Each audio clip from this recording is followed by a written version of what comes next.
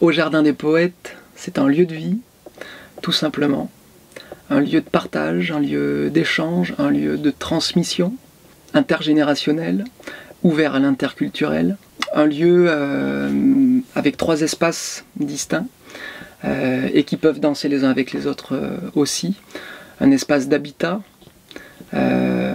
du coup avec des résidents permanents, des résidents semi-permanents, des gens de passage, des, des, pèlerins de Saint-Jacques de Compostelle qui viennent aussi de temps en temps par ici.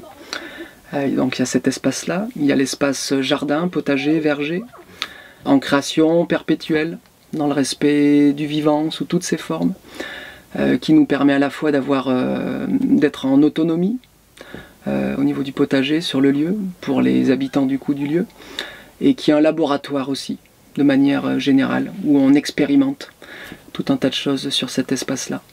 Et troisième espace, le chapiteau de bois, espace artistico-culturel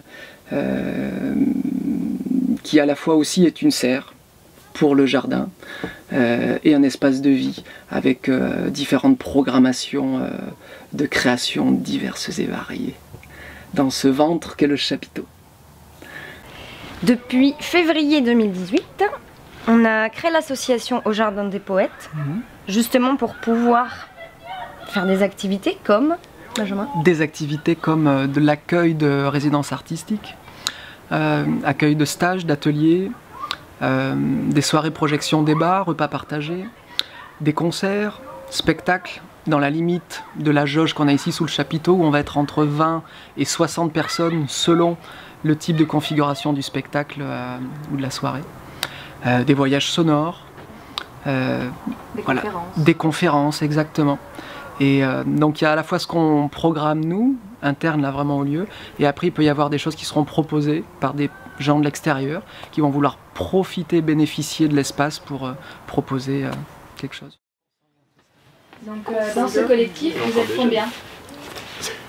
Alors dans ce collectif... 1, 2, 3, 4, voilà. Écoutez Mathéo. 7, 8, 9, 10, 11. Ok, on est à peu, près, on est à peu près 11. Et qu'est-ce que vous partagez euh, Vous vivez au même endroit euh, Vous dormez tous dans la même maison Non. Alors, où est-ce qu'on vit, Mathéo Chacun euh, Dans la caravane. Ouais. Regarde, par là. Regarde Mathéo. Euh... Donc toi, t'es dans une caravane. Ben aussi, il est dans une caravane, Polo aussi. Vous, vous êtes en camping-car. Et, Et c'est où l'espace où on se retrouve tous ensemble euh... Vous avez une autre maison pour tous vous retrouver, pour en manger par exemple Oui. Pour jouer Oui. Super. Alors la question pour les adultes, comment ça se passe au niveau de l'organisation, au niveau des prises de décision et au niveau de la gestion financière? Qui prend la parole euh, On en reparlera ce soir. bah ça c'est un petit peu des réunions quoi. Des réunions, on se dit tiens tel jour on va se regrouper et puis euh, discuter euh, un petit peu de, l'organisation, de ce qu'il y a à faire, de, bah, la question financière. Puis, euh, c'est au fil de l'eau, vous vous adaptez ouais. Ok, bah c'est parfait. Même les résidents sont amenés à changer aussi. C'est du moyen terme pour la plupart d'entre nous, donc mhm. ça va se réorganiser au fur et à mesure qu'il y en a qui arrivent, qu'il y en a qui sortent. L'espace au Jardin des Poètes, et euh, à la fois, on est dans un ventre euh, inspirant, euh, réchauffant pour ce qui se passe ici, mais on est ouvert sur tout un tas d'initiatives qu'il y a là localement. le jardin partagé de Tivier, mhm. que l'ami David a, repris et refédère tout un tas de familles euh, autour, du, euh, autour du jardin sur Tivier, les amis du théâtre de poche de Tivier, des cafés associatifs euh, qu'il y, a, qui a sur le lieu, d'autres amis qui sont en train de monter aussi des collectifs sur Champ-Romain, sur, sur Saint-Saul. Et tout ça, c'est une location.